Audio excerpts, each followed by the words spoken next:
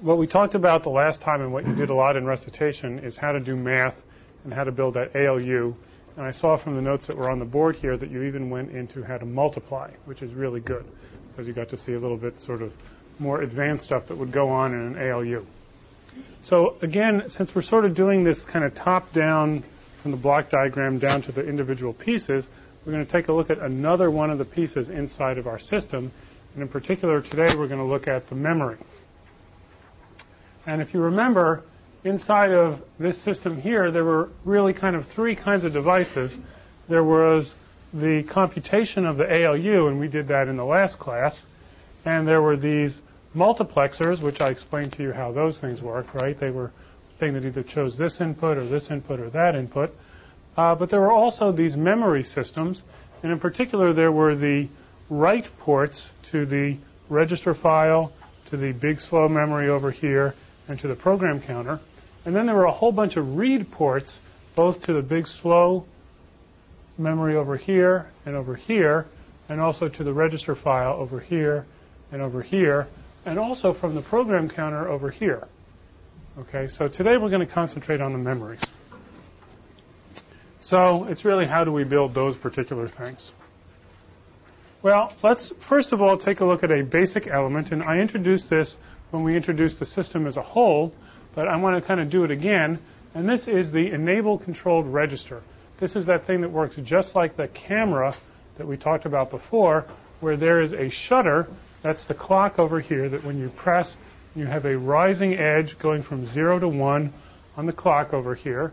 This device takes a picture of whatever the inputs are on D here and propagates the value to Q, and most importantly, holds on to those values for the remaining of the clock cycle until once again the shutter is pressed. Furthermore, if the shutter is pressed and the camera is turned off, in other words, the enable input over here has a 0 on it and not a 1, then it will ignore the clock input over here, and the Q output will continue to hold on to the data that it had before the clock went from low to high. Okay, everybody remember that, and that's basically how that unit worked. This is a 32-bit version of the thing, which is a 32-bit register with 32 bits of D and 32 bits of Q. If the enable is on, then it empties itself? It's not that it empties itself, but that when the clock goes from low to high, a short time afterwards, Q takes on what D was when the clock went from low to high, and then Q holds on to whatever that was until the clock goes from low to high again when the enable is also on. So it's it's really kind of a camera where where the film just sort of freezes whatever was in front of the lens when the shutter was pressed and holds on to it till the next time that you press the shutter. So there's always an image until it's written over. And until it's written over. There's always an image until you write over it. Okay? But keep in mind that the enable allows you to sort of turn the camera off and prevent the shutter from having any action. And the shutter in this case is the clock. And so this is going to be the basic element of memory. What value does D have then? When Q takes on the value of D and then D. Well, D can, after the snapshot is taken, what's in front of the lens can change however you want. Okay. And so we don't specify what D is, except that when the clock goes off, whatever D is, Q takes a hold of that and latches onto it for some time. Okay? We're actually going to be talking in future classes about how to build those things. And you're going to learn from a circuit perspective actually how to build a circuit to function as the camera that you see here. And it's lots of fun. Okay? And we're also going to learn about what happens when the person in front of the lens is moving when the shutter is tripped. You know, film never does that, but uh, when everybody else takes a picture, half the time the people are moving, right? And you get this blur. Well, it turns out the same thing can happen here, and we're going to learn about how to deal with that. But for now, let's not worry about that issue, and let's assume that all of the data inputs, you know, stand still to get the picture taken. Well, we have this register file. And the register file, if you remember, had 32 registers in it, of which the last one is going to be all zero. So there's really only 31 of them. So I could take 31 of these 32-bit registers over here, and I could arrange them in a row, and I could say, okay, this one over here is going to be R0, and this one's going to be R1, and the next one down here, R2, R3, all the way down to R30. And if you remember, R30 and R29 and R28 were special ones that we're going to use for special purposes like the stack pointer and the linkage pointer and stuff like that, basic frame pointer and the exception point pointer. That doesn't matter. We still have 31 registers. And then this last funny one, which is all zero all the time. And the question is, if we have these building blocks, each of which acts as a camera, so now we have 32, excuse me, 31 cameras arranged all in this um, column here, how do we build a system to select which one of those I want to read on any given cycle?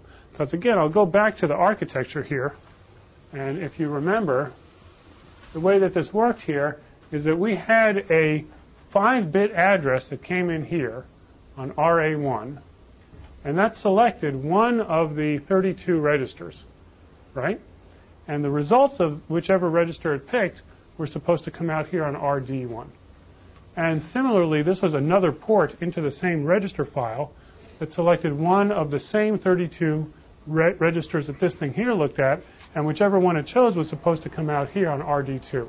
And so the first question that comes to mind is if I'm going to build this thing out of 32 units which look kind of like this thing down at the bottom, or excuse me, I should say, kind of like the program counter here, where there's just a 32-bit number held in one thing. If I'm going to build it out of those, how do I choose which of the 32 gets read by any one of those read ports? And the answer is actually very simple, and you've already seen the part which allows you to do this. It's called a selector or a multiplexer. And into the control input of the selector come five bits. And they specify one of 32 possible combinations. And those combinations each stand for selecting as a data item to be steered to this output, RD1, one of the 32 possible registers. Okay, if you remember the selectors we used before to steer how the data moved one way or the other inside of the circuit, this is the same thing. If we wanted R0, we would put a 0 into here, and the selector would choose, we'd draw a red line between here and here, saying that we're going to choose the output of this guy up here, all 32 bits of it, to get steered down to here and come out. On the other hand, if we put a 1 into here, we're going to choose this one. A 2, we'll choose this one, 3, 4, 5, 6, 7, all the way down to register 30 down here. And if we choose register 31, which is the last one of all, what do we get? We don't get the output of one of these registers, we get the output of this wire, which we tie all 32 bits to 0. And thus we've built ourselves a read port for a 31 register file where the 32nd register is always read as 0. And so this is the method that we're going to use to create access to these different registers. Make sense? We're just going to use a selector to do the whole thing. And later on, we're going to talk about how to build one of these. Okay, how do we add another port to this thing? Easy. Put in another selector. So over here on the right, we have the selector for RD2. And so into this input over here comes RA2, the second address that we're trying to look at. Notice that there's only one set of registers, but there are two different ports for accessing them, two different views looking into the register file, and we get to examine two different registers simultaneously, one being chosen as RA1 over here on the left, and another one being chosen as RA2 over here. And for instance, this one be, could be choosing R0 to get steered to the output here, while this one over here chooses R1 to be steered to the output here, and each one would get a different um, piece of data from different registers that are over here on the left. Is this clear? Are there any questions about the sort of trick that we're doing here? Yeah. You absolutely can. There's nothing wrong with saying, I want to add the contents of R0 to the contents of R0 and put the result into, let's say, R1. Okay, it turns out you can also put the result into R0 as well, and we need to talk about what happens when things go around in a loop. But for now, let's not worry about that and just say, sure, there's nothing wrong with putting the same number in here as the same number in there, and you know that both of these selectors will select the same thing, and you'll get the same data out of both of them. Okay, so this is a two read port register file. Yeah, Could you just remind me what RA and RD stand for? sure. RA is read address and RD is read data. Okay, we're also going to have WA and WD for write address and write data. So that's how we read from these registers. Now, I haven't talked at all about how we get data into them yet. But guess what? There's some blank space on the left side of this picture. and through the magic of PowerPoint, we're going to fill it in. Okay, how do we write selectively? Now, obviously, if I wanted to do this the dumb way, I could hook all the D's up to the same set of wires, and I could turn all the E's on, and in one swoop, when those clocks went off, I could write all of the registers at the same time. Or I could say the way that I'm going to control which one gets written is I'm only going to snap one of the shutters at any given time. In other words, I could gate the clocks. I could put a bunch of AND gates with the clocks, saying depending on which of the registers I wanted to write, I'm either going to trigger this clock or trigger this clock or trigger this clock. Change which, which shutter gets the finger to press on it. But it turns out, and we'll see reasons later for why this is true, that trying to gate clocks, trying to control which shutter is pressed, is actually very hard to do. And it's actually easier, and you get much more time to get the job done, to disable certain of the cameras and only enable one of them so that all the shutters are pressed at the same time, but only one of them works. Let's take a look at how that works. What we're going to do is we're going to take the data input of all of the registers and we're going to hook them together in parallel. And we're going to call that the write data input to the register file, WD over here. So whenever we want to write the register file, we're going to give it two pieces of information. One is going to be what data we want to write in, and the other is which register we want to write it to. The data goes into WD over here, and the address, which of the 32 registers we want to write, is going to come in here into this place called uh, WA for write address. And that's going to go into this thing. And this device over here looks just like this one over here, except this is a selector, and this is kind of the mirror image of that. And guess what this is called? This is called a decoder. And what it does is it decodes an input here, which is five bits wide, and it figures out which combination of five bits those are, of the 32 possible combinations there are. And if the combination is zero, it steers this signal over here up to zero. In the same way that if RA1 is zero, it steered the zero over here all the way down to here. So it kind of works the same way, but backwards. Okay? It takes a small number of inputs and chooses amongst a larger number of outputs. And so it will steer this input, write enable register file, or WRF, to one of the enables on the registers. Now the question remains, what is going to be the E of all of the remaining ones? And what do you think the answer is? Zero, right. So the way that these decoders work is that they set everything to zero except for one of the outputs, and that output is set equal to whatever this data input is here. And in particular, this says whether or not the register file as a whole should do the write.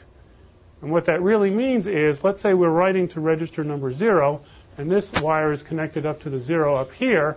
It's saying, should register zero pay attention to the data that comes in here when the clock goes off? And if WRF is 1, then the answer is yes. And if WRF is 0, then the answer is no. So It will not write something. just one bit. It's just one bit, either 0 or 1. Okay, so that's the general idea. Hey, look at what happened to register number 31. If we choose to write register 31, all the rest of them are going to be 0. And register 31, this little wire is going to come out here and say, poor, pitiful me, no one's listening to me. And why is that? Because the bits that come in here on WD just go nowhere. And so none of the registers is going to be turned on if we choose register 31 as the right address destination for where we're trying to write. And that's how we implement in this very trivial way, making register 31 equal to 0 on read and ignored on write. That's all there is to it. Okay? So, so, so looking at it, it looks natural, perhaps if, if you write it to several registers at the same time, but we don't do that. Well, but we actually don't, right. It, it looks like we're trying to do it. It seems like we're trying to write to all the registers at the same time. no, no, I'm, I'm saying, in our implementation, you always choose one. right? You only choose one. Why not choose more? That Oh, okay. efficient in some cases. It may be more efficient. Perhaps we could have special opcodes that wrote to two registers or to three of them. In that case, we would need to design this thing differently. You're absolutely right. Part of the idea here is to minimize the number of wires that are going to control the box here. So in other words, we need five bits to specify one register to write to. If we had two registers to write to, we'd need five bits for one of them and another five bits for a second one. And so you may, for instance, want to set it up so that we can write to more than one register.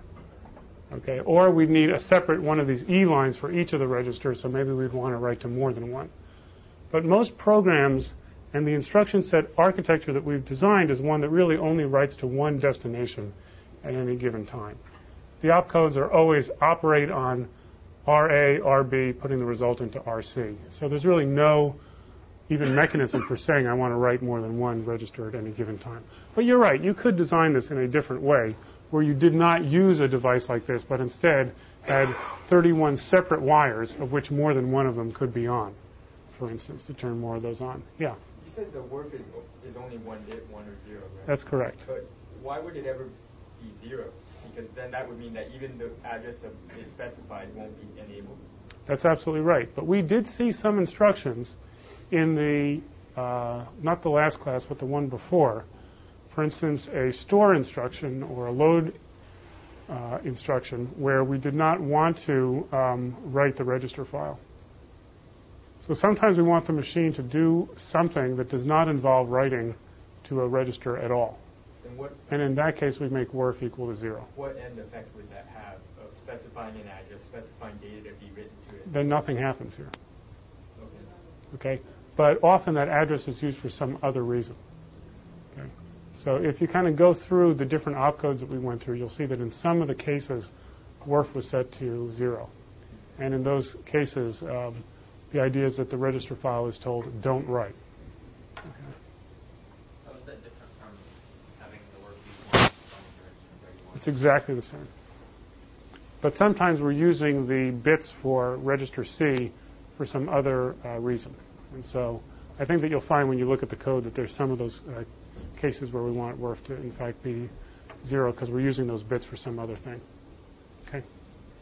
Is the when these, these lines are zero, is that just lack of signal, or is there a signal that indicates zero? So I've brushed all that stuff under the carpet for now because we're doing this kind of top-down view of things. But very soon we're going to take a look at how different voltages are used to represent zeros and ones. And there's actually a choice that we have whether we want a low voltage to represent a zero and a high voltage to represent a one, or do it the other way around. But I can assure you that we do it one way or the other. Okay, that we're going to make a choice in each part of the system what the representation is between voltages and a logic 0 and a logic 1. So typically, if you wanted to do it in most cases, uh, something that's near ground, near 0 volts, is going to be a logic 0. And something that's a higher voltage, perhaps 2 volts, perhaps 3 volts, perhaps 5 volts, is going to be a logic 1. And we'll talk a lot about the specifics of how that mapping is done. But for now, I'd like to think of these just in terms of the symbols 0 and 1. And we'll get into exactly how to implement those a little bit later. Okay. So we need to understand how this thing works, this decoder. It's also called a demultiplexer, the same way the other one is called a uh, multiplexer. And uh, I basically told you how it worked, how it took an input and sort of chose the different outputs. Um, turns out you could implement this a slightly different way. And there were computers like the, um, I know the PDP-11 did this. I think the VAX did, did this too. This was a standard trick. I think DEC even had a patent on this uh, for how to lower the number of wires that crisscross across the register file. Now, in order to grasp why this picture is important, let's back up a second and look at the previous picture. You'll notice in the previous picture, I have 32 bits coming out of each of these registers. 32 plus 32 plus 32 plus 32. I have 31 copies of, of 32 bits, which is many, many bits. And they go to this uh, multiplexer right here to select one of them. and then the output comes out here. A typical register file back in the 1970s, 1980s was built as a single chip with this multiplexer and the registers all inside of one integrated circuit. Okay? And the question was if you had such a thing and you wanted to add another read port to it, how could you do it? And the answer was it became too difficult to do because there were so many wires that crisscrossed across the entire chip that it became very, very hard.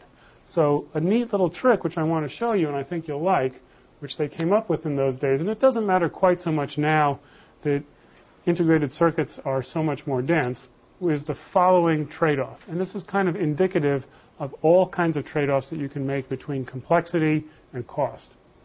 Instead of having the same bits from all of these registers go to two multiplexers, what architects in those days did is that they duplicated the register file twice.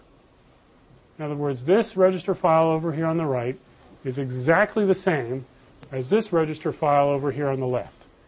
Each of the register files has one write port, just like we had before, and only one read port. And this register file here also has one write port and only one read port. Now this is small enough that we can fit this entire thing on a single chip. And the thing on the left being exactly the same as a second chip. And now when we look at the two halves, how do we keep the two registers in sync with each other? Well, the answer is, is that whatever we write into the left one, we write also into the right one in parallel. In other words, the address that we choose to write at any given time is sent to the left um, decoder here and sent to the right decoder at the same time. So whenever we write a register on the left, we write the same register on the right. The same data that we send to the left is also sent over to the right. So the data is the same. So you know after a while, after you've written the left file for a while, you've written the right file for a while, assuming you've hit all of the registers, what's going to be the case? The contents of the ones on the left and the contents of the ones on the right are going to be the same. And that means that when you access the read port of the left-hand file, you could also access a different register using the read port on the right-hand file, and it would work exactly the same as that other system I just showed you, where we sort of had a single set of storage and had the wires bust across two different selectors for the two different ports. So this is how to build a two-port register file out of two one-port register files. And the answer is to just sync them up so they both have the same thing on them. Okay, it's kind of a cute trick. And in particular, it turns out that the circuitry involved in building this, guess which takes more circuitry? To store the bits or to select the bits? Now, you'd obviously think, oh my God, trying to remember, building a camera is a hard thing, right? But actually, building the selector is harder. Okay, this is this big tree structure that says, okay, if it's one of these two bits, we choose these, then we choose these, we choose these. You get this huge tree here, and th- this one actually takes up most of the transistors on the chip, and this takes up very, very little. Okay, and the wires take up a lot of space too. And so it's actually sometimes more economical to build a structure that looks like this because it turns out that storage is cheap. Storing bits is cheap. However, conveying bits is difficult. And in particular, choosing which bit you want to look at is a little bit more hard to do. So anyway, I just wanted to show this to you because it was both a neat bit of history, and if you understood how this worked, you would know how the system worked as a whole. Okay, what do we do with the clocks? All of those different um, registers that are in the middle here each have a trigger on them, a shutter at the bottom, and the question is, what, is, what should we do with all those clocks? So what is the answer? There's some single clock that's going to come into this thing that says, take the picture now. And take the picture with whatever, into whatever register is selected by WA, if WRF is high, if WRF is a 1, and the data you put in is given on WD. What should we do with those clocks, do you think?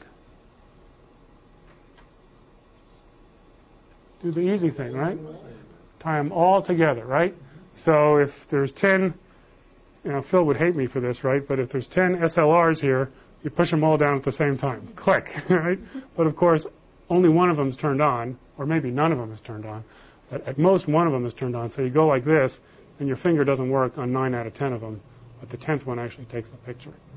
So what you do is you hook the clock in parallel up to each and every one of the inputs. And in general, this is the architecture that's used to build that register file. And that's all there is to it. It's really simple, okay? And each of these units is exactly the same kind of device we talked about in the last few classes, and the same sort of device that's going to be used to hold the contents of the PC, for instance. A simple 32-bit register. 32 wires comes out of each one of those. That's absolutely right, yeah. If I wanted to, I could mess this thing up by putting a slash here on each one of the wires here and putting 32 on each one of them. But the truth is that this works no matter how many wires come out of each one. So the architecture is general. In our specific case, yes, you are right. All of the data paths are 32 bits wide. The address path is 5 bits wide, and everything else is 1 bit wide. Yes. Okay. Cool, huh? How to build a register file. Okay. Is it practical to do the big memory this way? So I want to hypothesize that we're going to do 128 megabytes like so. So I'm going to have 128 million 32-bit registers. You know, they're going to reach from the ceiling down to the floor. They're each going to be very thin, right? 128 million of them stacked up. And then I'm going to have a giant decoder over here on the right that's going to choose which one I'm going to look at. And a giant, uh, excuse me, this would be a giant selector choosing which one I want to read. And a giant decoder on the other side choosing which one I want to write. And these two big arms would kind of, you know, go back and forth saying, I want to read word number so-and-so. And they choose one out of 128 million or even more, 4 billion, you know. Lots and lots of thin. Do you think that we're going to build it like that? That's crazy, right? This architecture that we have before, let me actually go back to this. This is fast, okay? It turns out this is a small, fast memory. But if we want to do a big memory, and we try to do it like that, it would be ridiculously slow. Like even slower than the RAM actually is inside of your PC, because the selectors would have so many inputs. The fan-in would be so great that the amount of electrical charge you would need to get data through this monstrous thing would be so large that it would take forever for that charge to build up to get the data out. Okay? How, how big can that register file get? That's a great question. I would say probably going beyond a thousand registers is starting to push it. Okay? So on the order of a thousand. A million is way too high. Okay? Um, a billion, which is what we're getting close to now in terms of RAM these days, much, much too high. Each register So- is four bytes. Where each one of these registers is 32 bits, yeah. yeah. But there actually have been machines, and I was involved in the design of one where there are thousands of uh, registers in the uh, register file. So, and it turns out that there's an advantage for doing that uh, for certain things. Okay, so how do you build a big memory without making it so slow that it's not worth using at all? Well, first of all, you say to yourself, instead of this one-dimensional structure that I just showed you before, which was a stack of registers from the floor to the ceiling, let's at least have a two-dimensional structure because after all, chips, the integrated circuits that things are made out of, are two-dimensional in the first place. So let's lay out the bits like this rather than just in a straight line and at least get the square of whatever the sizes of the edges are. So if there are n squared bits inside of this picture here, we only need a structure that's n by n in order to generate them. Okay? And what we're going to do is we're going to store one bit at each one of these intersections. Now you say to me, but you want 32-bit words. Well, that's easy. I just have 32 of these chips, and I can do the job. Or you can think of this as a 3D stack that has 32 levels like this in it, that being the 32 bits, and each one of those levels has X and Y in order to choose which bit that you want. Okay? And modern uh, RAMs, or random access memories, are built like this, where we use the nice fact that 2D allows us to take the square root of the number of bits that we're trying to do. Okay, so for instance, a megabyte would be, so let's say we had one meg. We wanted to build a one meg chip, right? One meg is two to the what? Two to the 20, okay? Because two to the 10 equals 1024 equals one, quote unquote, k, okay? And so two to the 20 is one meg. One meg of anything, okay? And so what we're going to do to this thing is we're going to split it up into two halves, being a set of bits that's going to be 10, 10 bits wide, like this, 20 bits wide because 2 to the 20, draw this like that, and another set of bits that's 10 bits wide. And so this will then go to a structure which is square, and we'll have 10 bits here, 10 bits here, so we'll have 1,024 rows and 1,024 columns. And that's reasonable to build. Okay? So, that's how we're going to build big, slow RAMs. And then the question is, what are we going to do inside of each one of the cells? Because even though we're in 2D, if we have millions of cells, it's important that the amount of storage that we have there, the circuitry we devote to storing a bit there, is as minimum as possible. Because if it's not, then it's going to drastically cut down on the amount of storage that we can have. And so what I'm going to do now is I'm going to go a little bit into physics. And again, if you don't quite get this because you haven't had it before, it's okay. Yeah. We're using selectors on each axis there. Ah, let me make that a little more clear. I think on the previous one, I used a square at the bottom, which wasn't quite so nice. Here's what I'm going to do. I'm going to use a decoder over here. Okay, I'm not drawing this quite right here. Let me draw this right. 10 bits go in here, and I have a 1, 2, I'm going to put a logic 1 in there, and that's going to choose one of the rows. Okay? And then all of the columns are going to come down like this. And what I'll do is I will have a selector down at the bottom.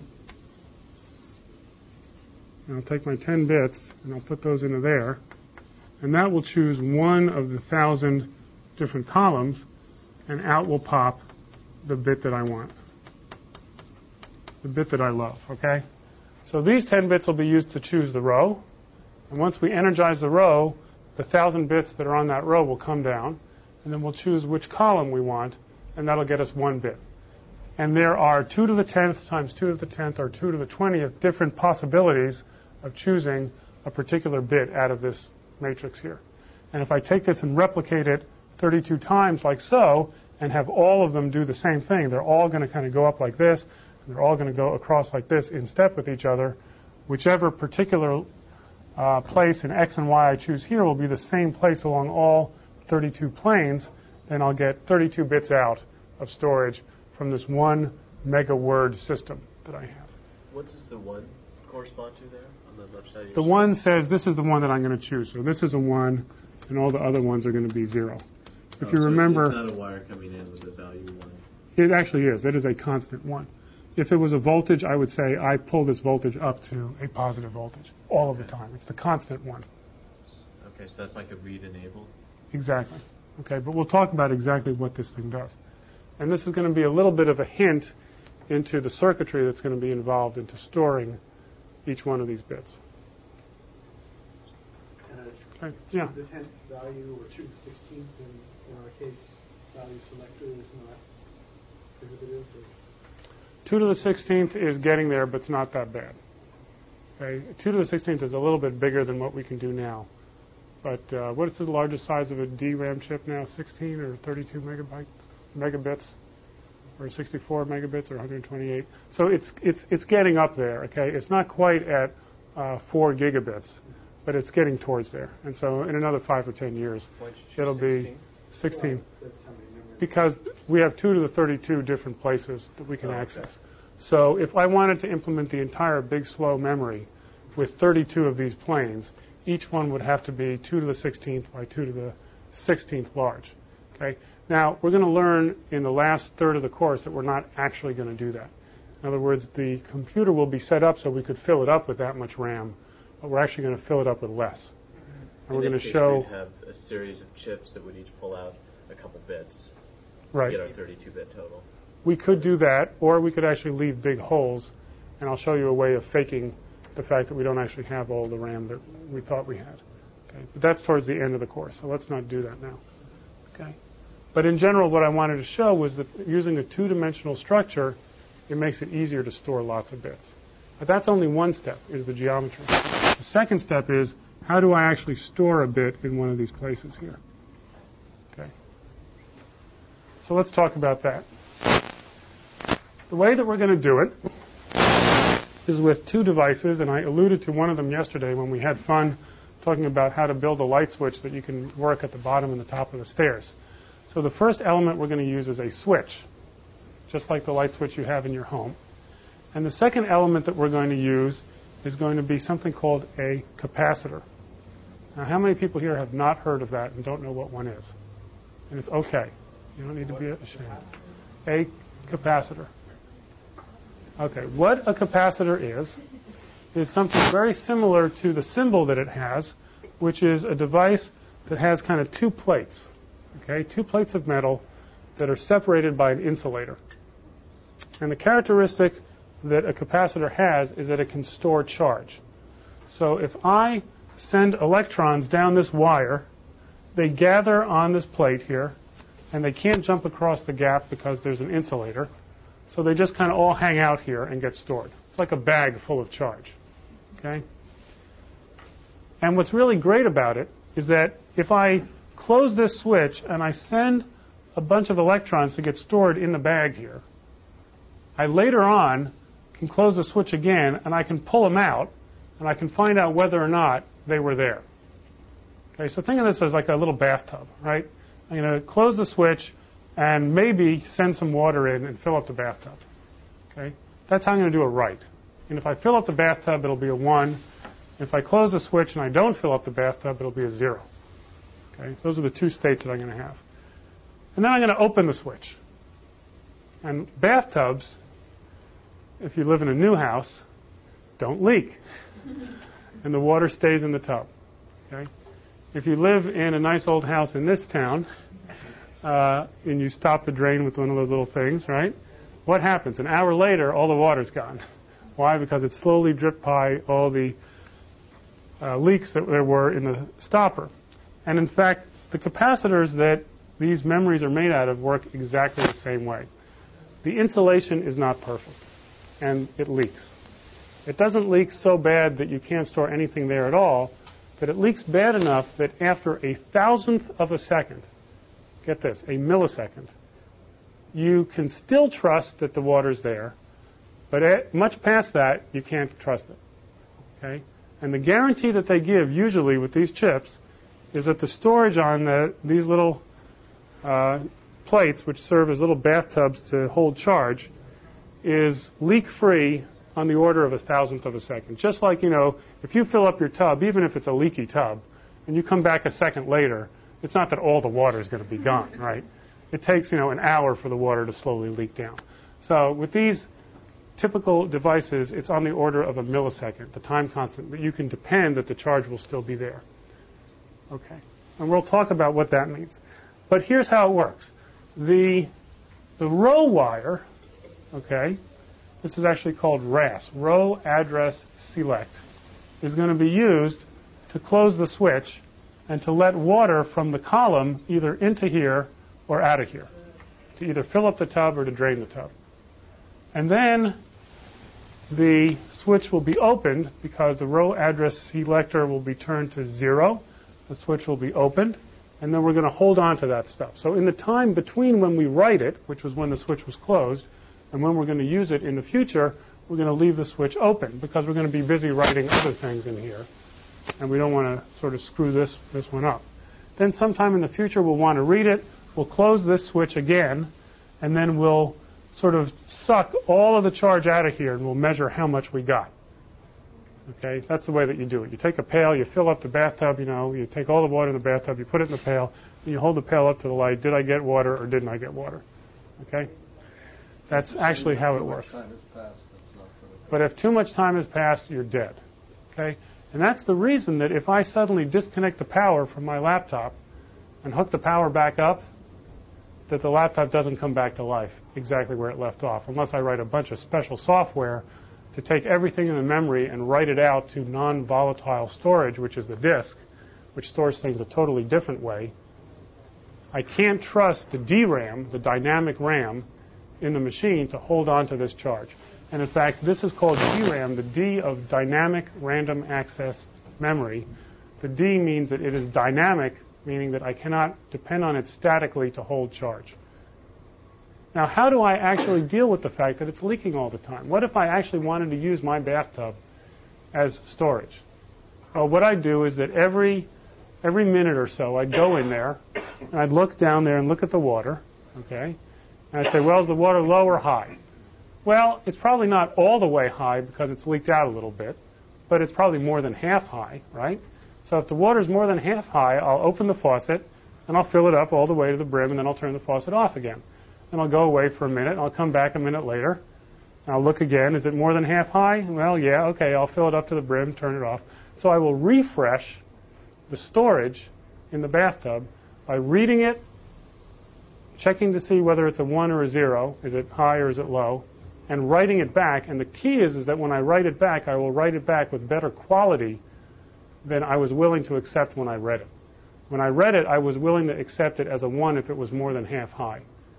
When I write it, I will write it with better quality in that I will fill it up all the way to guard against the fact that it may leak down a little bit. So typically the charge inside of one of these capacitors, if it's being maintained at a high, kind of looks like this. So here's where we fill it up to, and then it leaks down. Fill it up, it leaks down.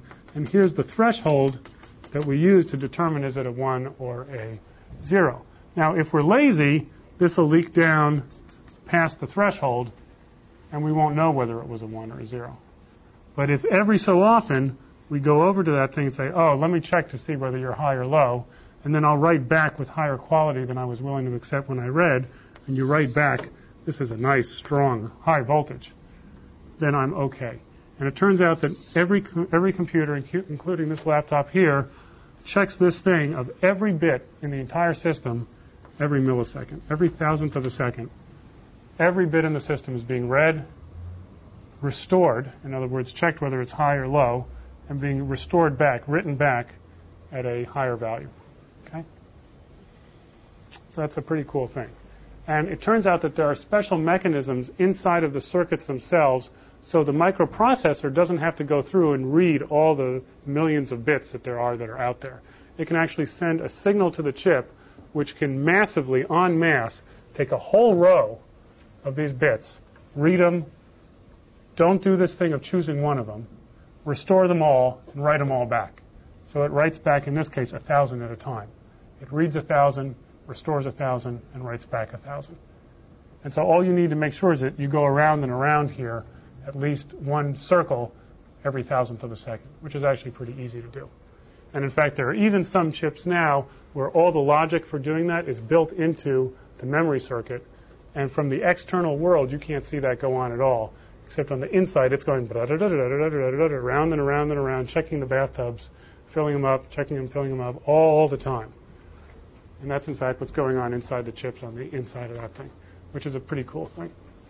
So, minimum, minimum circuitry. What's that? What's, the, what's that type of RAM? Oh, um, it's, oh, jeez. Uh, I think it may be called hidden refresh or automatic refresh, uh, or on-chip refresh. Still SD-RAM. It is still DRAM. The S of SDRAM, S is for synchronous, and that refers to some fancier circuits, which we're actually going to go into, that talk about a slightly different structure for here. Okay. Okay? Turns out that instead of doing this, which only grabs one bit at a time, if you want a thousand bits, you can get out the thousand much faster by doing one transfer, and then in assembly line fashion, like we talked about the last time, you get zip, you get them all out. And so that's why SDRAM is so much faster than plain DRAM, which is the way that this thing works. But for now, let's just talk about DRAM. And for now, the key is to understand that at minimum, what storage is in a computer is some kind of device to store charge. Okay? And pretty soon, I'm going to get into physics with you, and I'm going to tell you it's not even the charge that is the fundamental thing, it's energy. Okay, and don't worry, this isn't going to turn into some new age course, okay? this is real energy. This is like, you know, physics, you know, E squared, E energy, right? Okay? Um, and so in the bathtub, what's the, the potential energy of the water sitting in the bathtub? Or actually, if you want to get really fancy, it's the um, the negative of the entropy of the fact that the water is in the tub and not out on the floor. Okay, so the maximum amount of randomness that can happen when you have kids like me, this happens quite often. there's, there's water all over the place, right? Okay, and the water's not neither, you know, both in the bathtub and outside, and you know, you really can't can't tell. What this thing is doing is saying by specifically placing electric charge on this plate on the top, okay, we're basically storing some energy. Those of you who had had physics know that the amount of energy stored on a plate like that is 1 half CV squared, where C is the amount of capacitance, V is the voltage, and it's 1 half CV squared. The formula doesn't actually matter. What does make a difference is that what we're detecting is whether there's energy stored in, on this plate here. And the way that we're going to do it is we're going to close the plate, and if we want to write a 1, we'll pump energy in. If we want to write a 0, we'll suck any energy that might be there out and we'll make sure that that's out. And we're actually going to pump it in and out on this wire here, and we're going to choose whether or not to do it on this wire here. And if we want to read whether or not there's a 0 or a 1, it turns out that reading that is a destructive thing. In other words, we're going to close this switch and we're going to suck all the energy out that we can, and we're going to measure how much we got. And in the process of doing that, we will have erased the bit. But that's okay because we remembered what it was, and after all, we have to write it back anyway. So then we'll restore it to either a lot of energy or no energy, and we'll go and write it back here.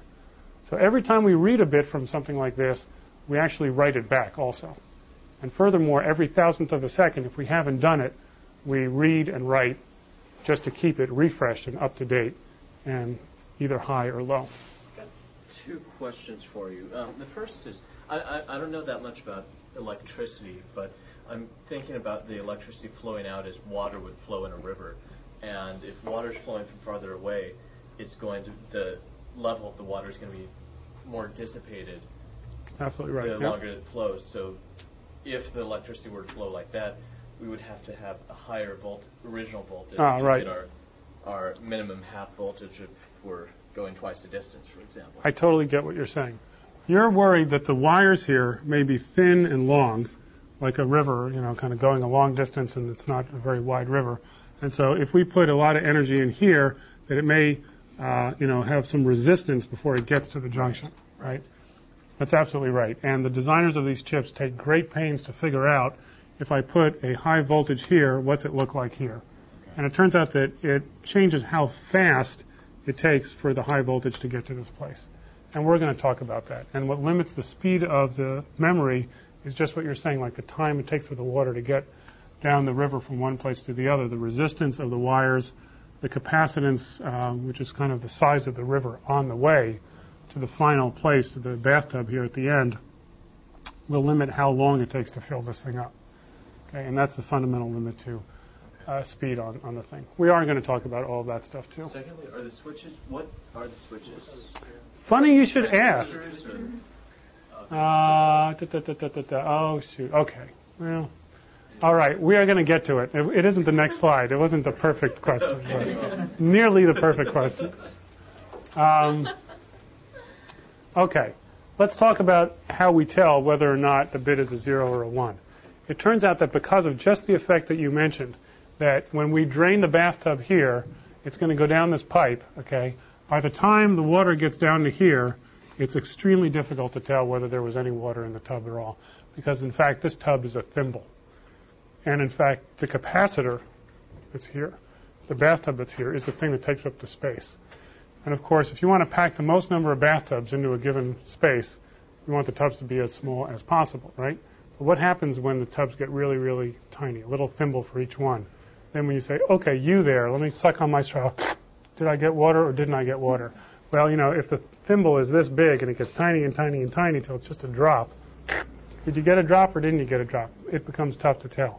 So there's a trade-off of how large the cell is here and how more and how difficult it is to sense whether it was a full or an empty tub.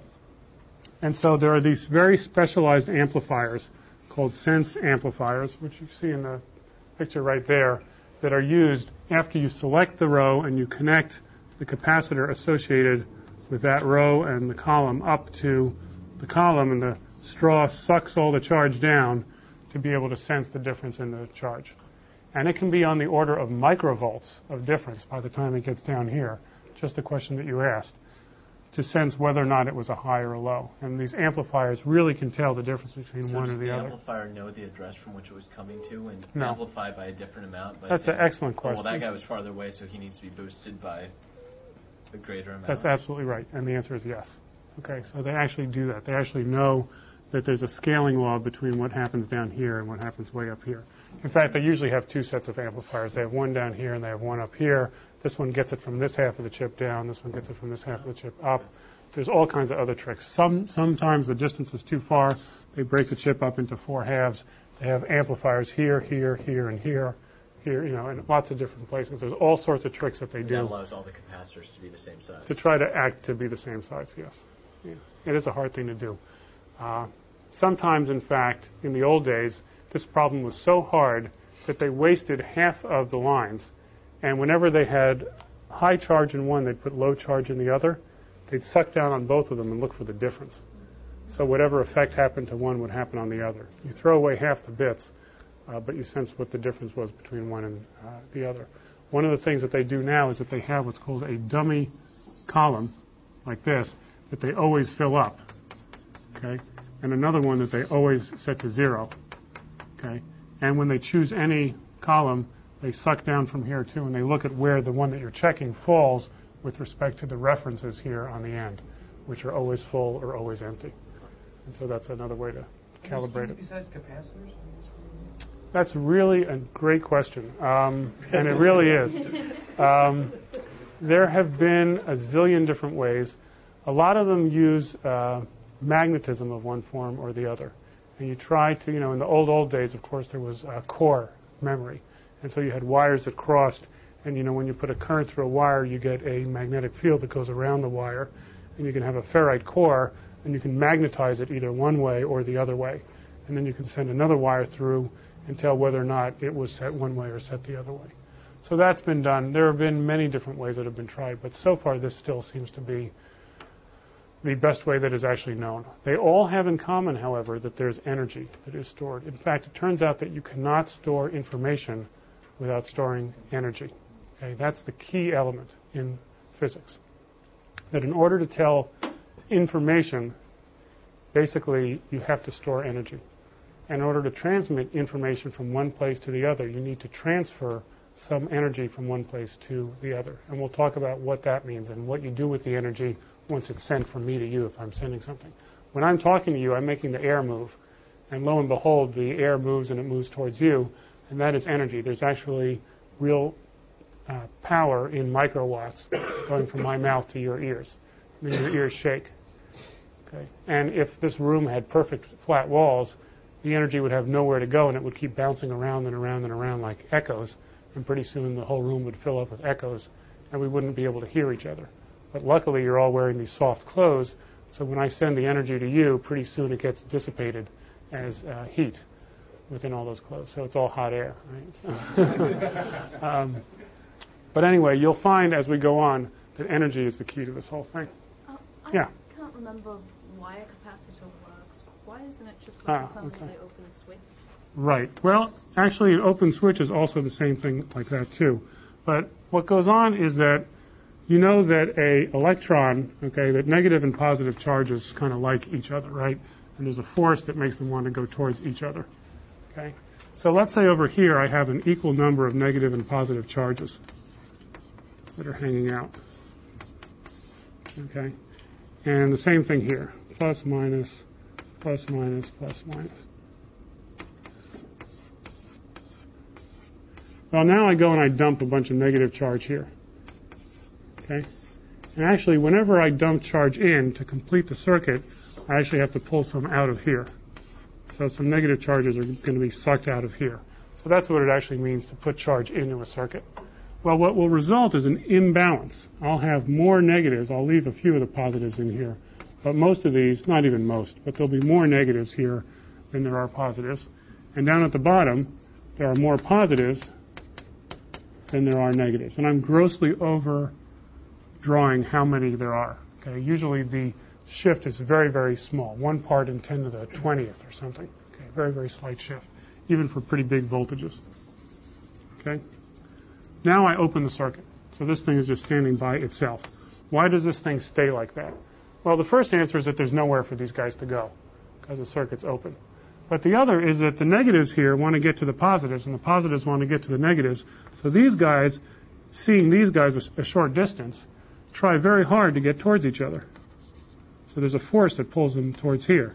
And these guys try to get towards here, so there's a force that pulls them towards here. And so you get these forces that are blocked by the fact that there's an insulator here.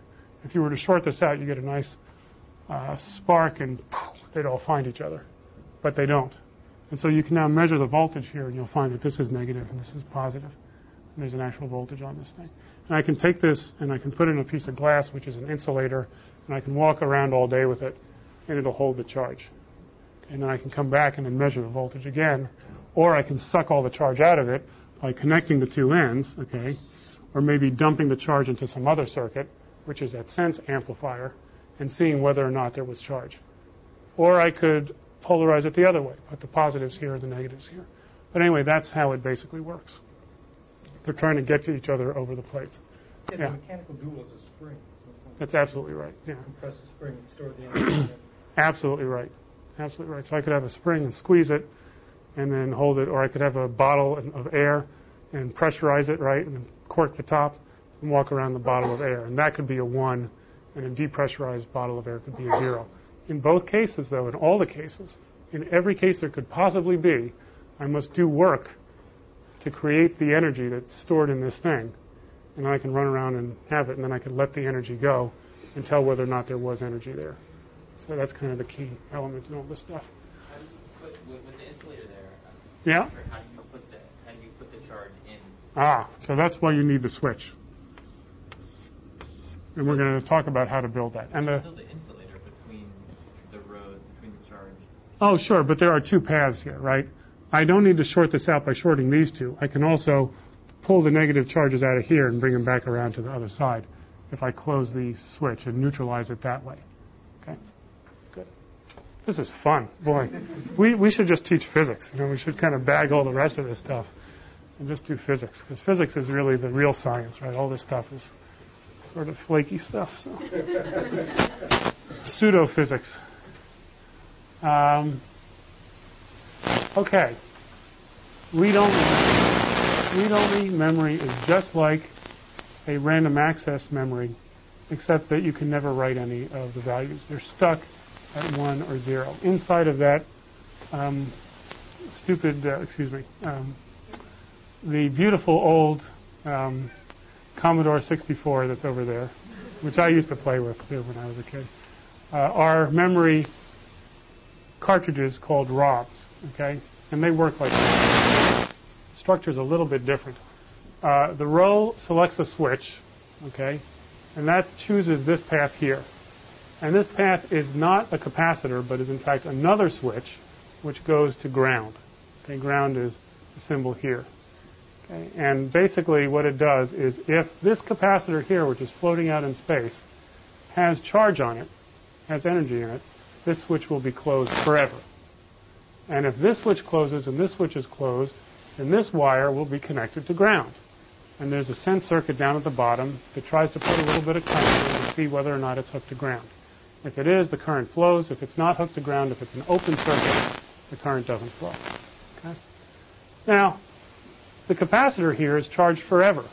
Okay? It's in fact two pieces of uh, semiconductor inside of glass. of silicon dioxide, totally isolated. Okay, so there's a um, piece of semiconductor which can conduct electricity a little bit, and another piece like this down at the bottom. And this piece is totally enclosed in 3D in glass. It's actually grown on the circuit like that. And it either has charge or it doesn't have charge. And glass is an excellent, excellent insulator. In fact, it's so pure here that this charge will last for 20 years. That's how good the bathtub is. And why is this bathtub so good?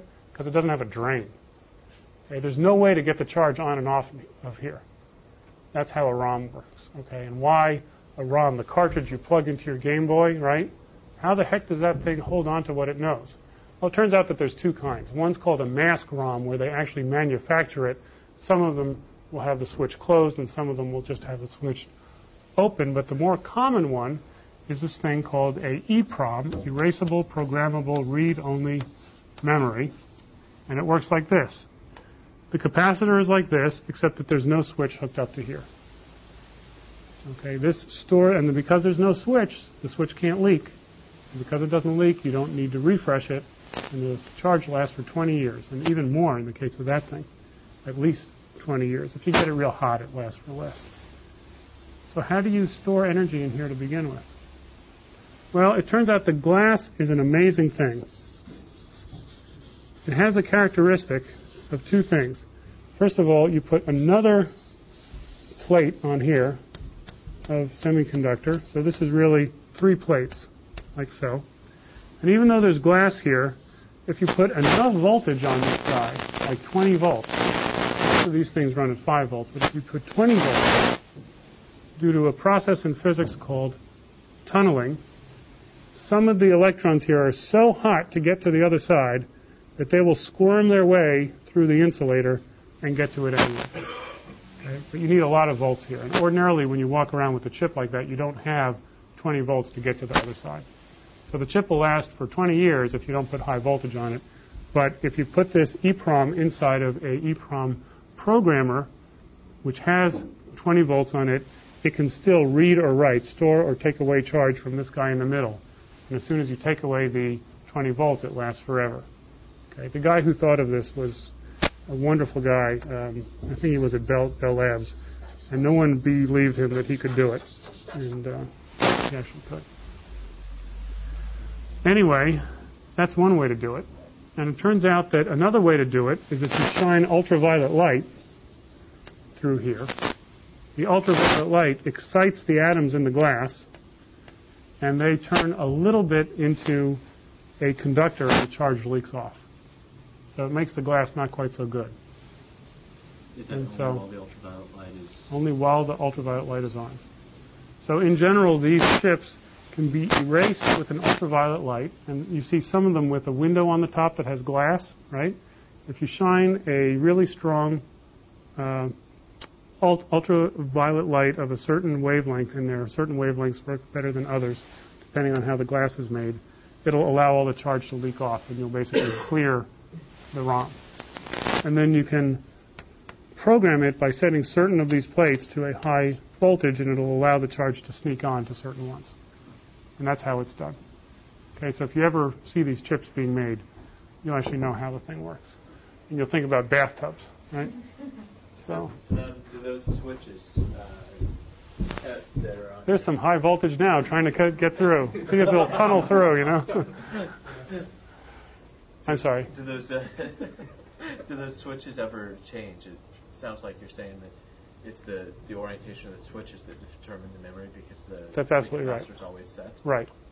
Right. So if the capacitor here is high, the switch is closed, and if the capacitor is low, then the switch is open. And what is the switch? Here's the switch. Here's the answer to your first question. That excellent question you asked. What is a switch? The switch is this thing called a field effect transistor. Okay, and we're going to talk a little bit about how this works, but we won't get too deep. Um, and this device on the left, which I've drawn as a switch, which is controlled by a wire here, which allows the switch to turn on and off, is in fact this device right over here, which is a gate. That's what this thing is called here. And this thing, one is called the source and the other one is called the drain. And the idea is that electric current is trying to get through this thing and this is a gate that says whether or not it gets to go. In the same way that this is a switch, the electric current is trying to get through this path here, and whether or not the switch is closed depends on whether the gate is high or low. And that's how these things work. Now let me draw you. I don't know. How does the, the diagram on the right work? Okay, so let me actually draw that out a little bit. And we're going to be doing quite a bit of this. Um, and I'll use color, but I'll make it clear also. Okay? Um,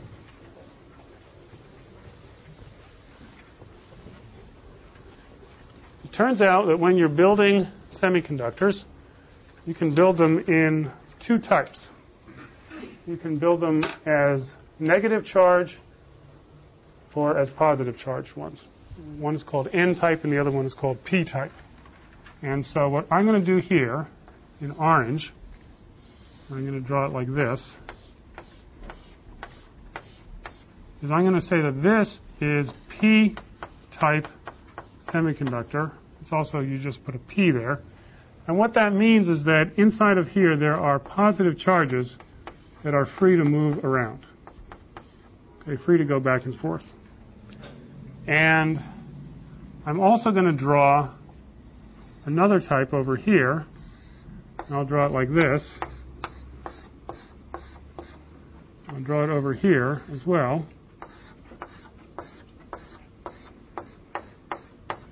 And these two here are going to be N type. And in this kind of material, there are going to be some free negative charges that can go back and forth. And I'm going to be explaining this more and more as the term goes on. But in general, if you want to pass current from this end to this end over here, it turns out that it won't go. Okay? In general, if we didn't have this thing on the right, if we just had some N-type over here and some P-type here and they had a junction in the middle, and we tried to pass current one way through that junction, it would allow the current to go one way, but it would not allow it to go the other way. And we don't have time here to explain exactly how, but what's called a PN junction, or a NP junction, here's N and here's P, is what forms what's called in electronics a diode, which is often drawn like this. In other words, a valve that only allows current to flow through one way. And if you'll notice, the structure over here is such that there's two diodes, each pointing towards each other, like this, towards the middle. And so if I try to pass current through this way, it'll get through this one, but it won't get through that one. And if I try to pass current through the other way, it'll get through this one, but it won't get through that one. So this NPN structure, and you could also build it PNP, it doesn't actually make any difference, is a structure that does not let current go through.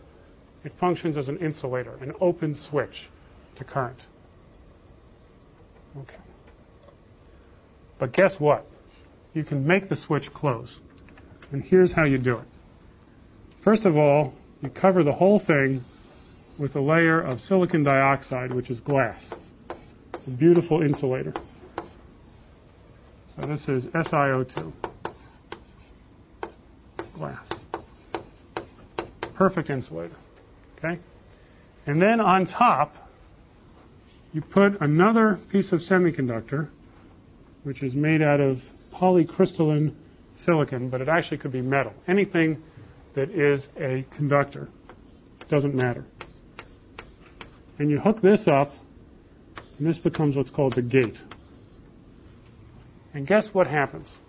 In the same way the capacitor worked, if I put a lot of positive charges into here, let's say I fill this up with positive charge, guess what gets attracted to here, to the surface right over here? Because remember, positive and negative want to go towards each other. Guess what gets? It turns out that there's a few negative charges floating around in here. Not many, but there's a few. P-type means there's a lot of pluses and a few minuses. But if I put positive charge on the gate, all the minuses drift up to the top because they all want to get close to this positive gate. And so what you get here, and this is just an amazing thing, is you get a very thin layer once this gate becomes positive of sort of mirror charges on the other side that are negative. They all get attracted to this point. And this material, which was originally p-type throughout, because you put positive charge up here, gets a thin layer on the top, sort of like water on ice, where it actually switches to be n-type, because so many of the negative charges have been attracted to the surface. And look what just happened. Suddenly, I have a clear path across this PN, this NPN junction. That's all n-type. And n-type works just fine. And it's a closed switch. So I can make this switch go on and off by charging this gate up. I charge the gate up, the ends come up, the switch will close. I discharge the gate, the ends go back down and mix up, switch is open. And this device here is called a field effect transistor. This is basically as deep as we're going to go into semiconductor physics to talk about how this thing works. And the symbol for it is that. Okay, where that exactly corresponds to the three terminals that I've drawn here. We're trying to get current through this path here, and it's controlled by this gate. And notice the space between the gate and the channel that we're trying to get the charge through. And that space is where the insulator is, and that's to indicate that I charge and discharge there, but this gate doesn't really physically interact with any of the circuit down here. It only opens and closes the gate. Just like a person that opens and closes the gate but doesn't interact with the people that flow through. Okay? How large a charge would you have to have? Uh, you can have, um, let me get it exactly right. It's in picocoulombs, so of that order. Very, very small. And the devices here are um, fractions of a micron on a side.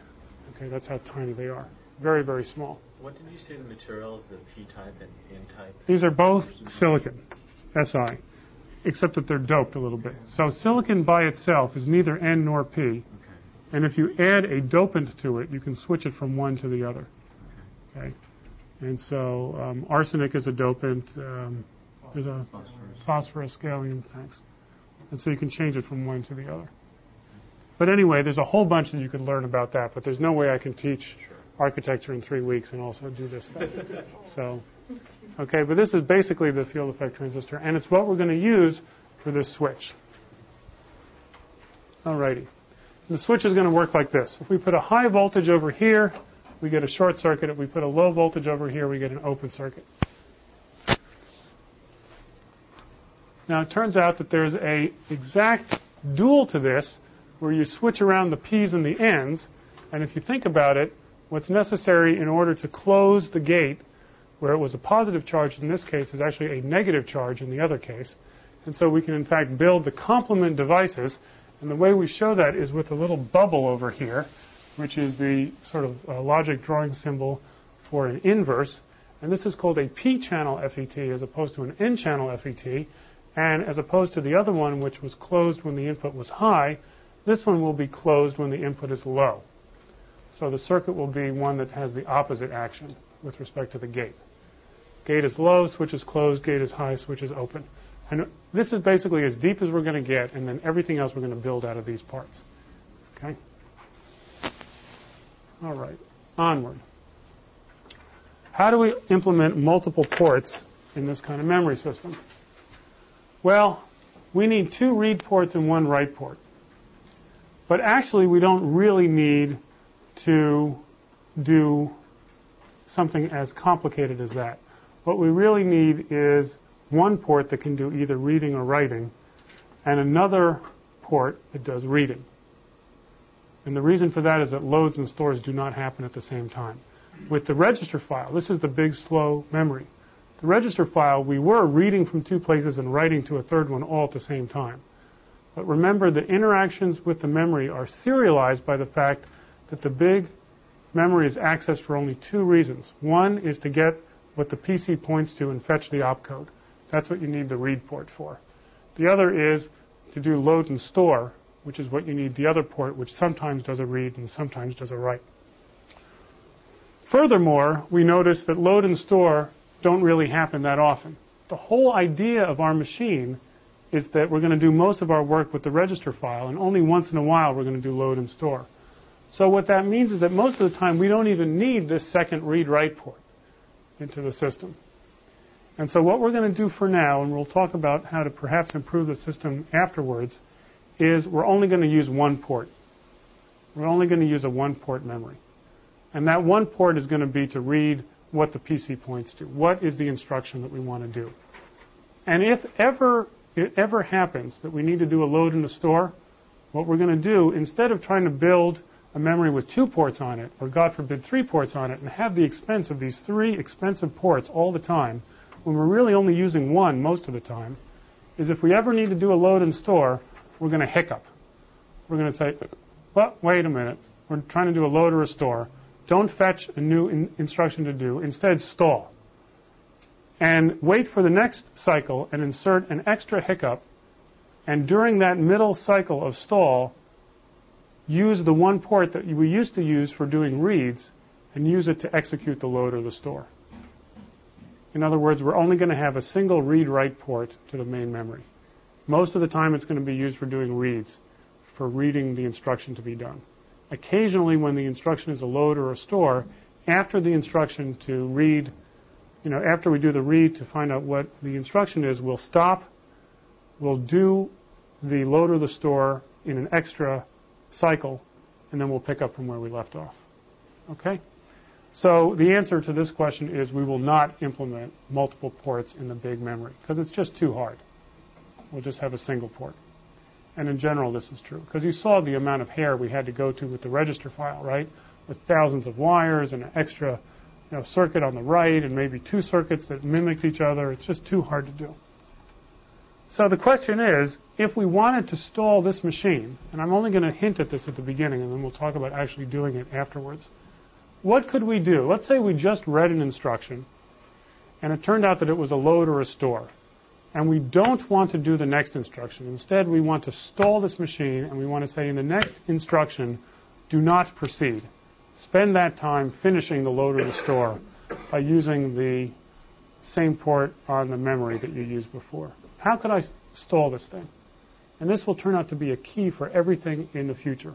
What do I need to do for an instruction to make it not happen?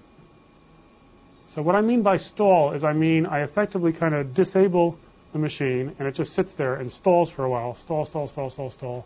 Then I can turn it back on again and it picks up from where it left off without anything going wrong.